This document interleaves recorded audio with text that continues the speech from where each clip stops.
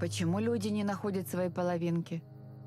Да не находят, потому что ищут прежде всего тех, кто сделает их счастливыми, а не тех, кого они хотят осчастливить. Странно.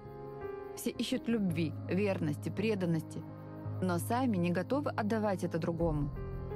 Все желают любви только для себя. А главное ведь другое. Нужно искать близких по духу и тех, чье счастье для тебя важнее своего.